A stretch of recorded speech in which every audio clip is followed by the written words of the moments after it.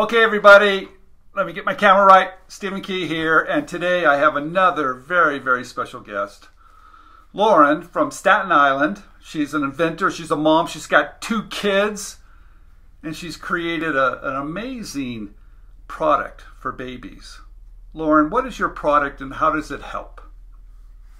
So, uh, thank you so much for the introduction. Um, my product is called Tranquilo Baby Soothe. It is the first baby massager which simulates a mother's touch, gentle touch. So, the objective of the product is to naturally calm a baby anywhere in the home, on the go, seamlessly and easily. Well, how did you, why did you come up with this? I mean, every mother, I mean, I, I have three kids and I know that it's hard to soothe the baby at times, and especially if yeah. you have a couple of kids at the same time. So, when did you come up with it? How did you? When was that aha moment? The aha moment was when I became a new mother, and my son Joseph was born almost ten years ago, and just you know, being a new mom and going through the motions, even though it was the most wonderful time of my life, it was also one of the most anxiety filled, um, you know, moments in my life as well. Um, which I think people sort of shy away sometimes from talking about that when you become a new parent. You know the the pros and cons, and you know not being able to sleep and hearing my son crying endlessly. I would just you know intuitively and instinctively as a mother, I, I knew my son loved to be touched, and I would massage his stomach, I would massage his belly um, and his back. And I said, wow, you know, this was so effective. This would be great if I had it throughout the day on the go. And that was the aha moment. I thought, wow, I could really help so many people um, who feel anxiety when they, not only that they're new parents, but hearing your child wailing uncontrollably. It was just the perfect solution. Now, okay, so you have the idea, but how do you go about bringing it to market? Did you build a prototype? Are you an engineer? I mean, how do you, what do you do?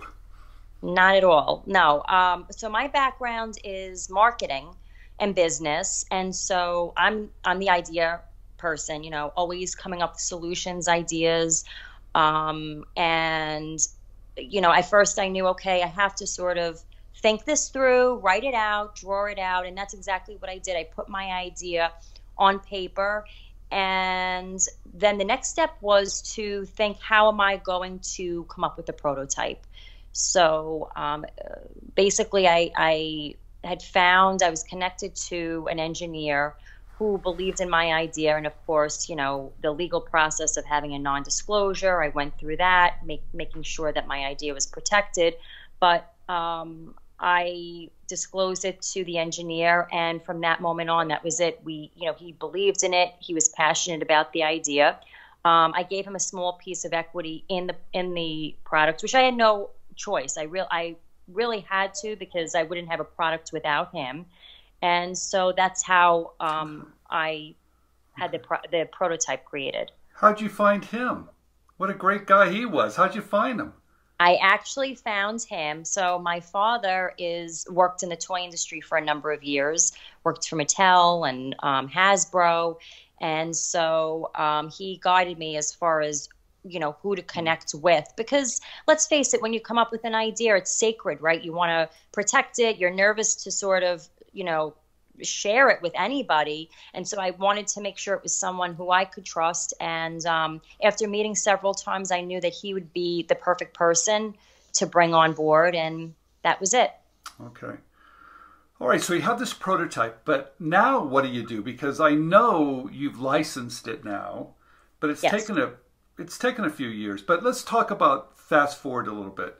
Sure. Where is it today? You you licensed it to a, a big company which is fantastic. Yes. Congratulations on that. Um, Thank you.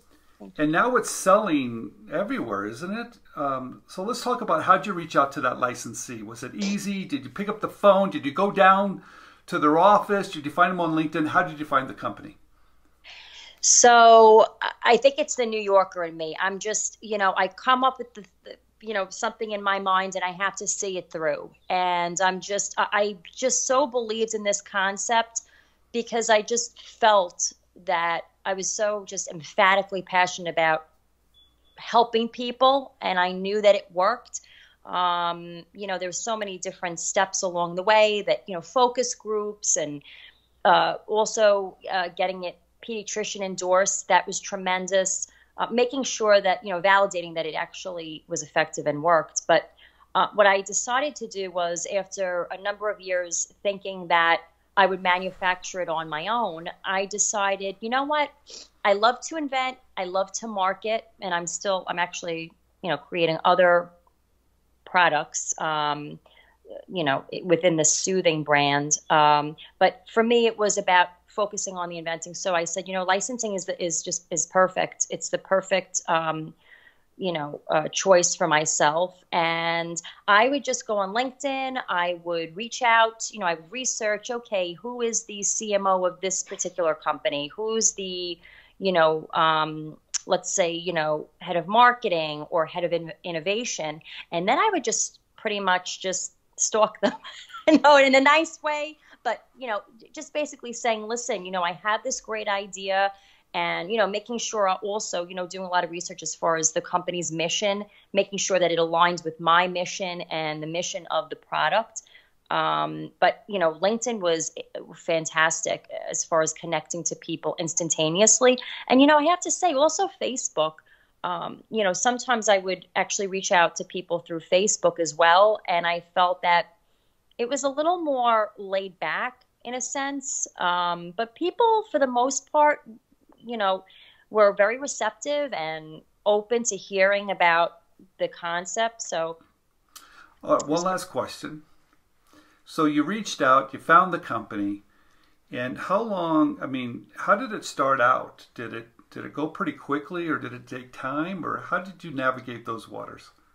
it, it has been a long road. Um, I think I was a bit naive in the beginning of this process, thinking that it would sort of, um, you know, just take a couple of years. It's actually taken a decade um, and, you know, like you said, I mean, now finally, we were in Walmart last year. Um, now we're on tranquilobaby.com. We're on Amazon, and we're working um, actually in talks with getting into um, some other major retailers. But it took an incredible amount of time, persistence, perseverance. You just, you have to really live and breathe your idea. You have to believe, just believe that it can make a difference, change people's lives. And that's really it. It's about, providing a solution to people to help make their lives better and um, and I knew I had something that would do that and but it, it did it took a long time of just but once you, you know, reached out to the comp once you decided you wanted to license how long did it take from that point on was it a little quicker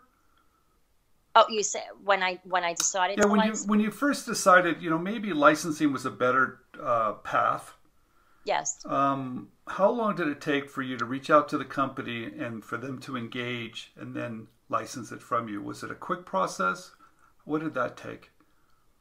No, that was, I mean, it depended on the company, but it was a lengthy process because I would start, you know, I, for me, it's all about relationship building and developing rapport with people. Um, and so, you know, I listen to you and, you know, sometimes not just would send an email, would try to back it up with a phone call and just get to know the point person at the company. But um, it, it took time. I mean, because then I would have to send the prototype, they would have to test it. So it could have been, you know, some companies were three months, some companies were six months. It really depended on the company, but I would say between three and six, three to six months. Wait the waiting process to just to figure out if this was going to happen. Yeah, because the company that licensed it had to do some work. They had to probably test it themselves.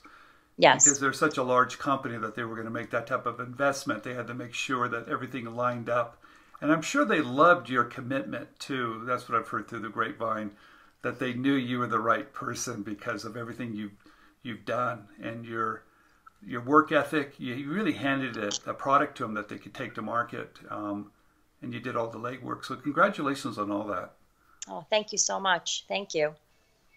Well, that's well, the key too. I think do like you always say, doing as much as you can prior to, um, you know, uh, basically pitching your idea or you know presenting your idea to a company because like you said then they're more interested i think in a sense to say okay it's less risk for us uh, so that definitely worked to my advantage that i had yeah, because you you really created a new category, so that's a little scary in itself. But that's that takes a little bit of education. So I could see where they were doing their homework.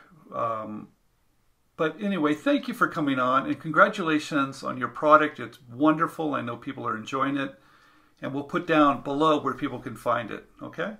Thank you so much. And it's important to say you've been an incredible mentor. So thank you for helping to guide me along the way. And um, I really, really am truly grateful for your advice. So, and well, your insight.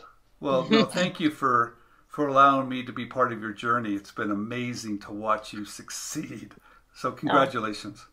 Thank you, Stephen. Thank you.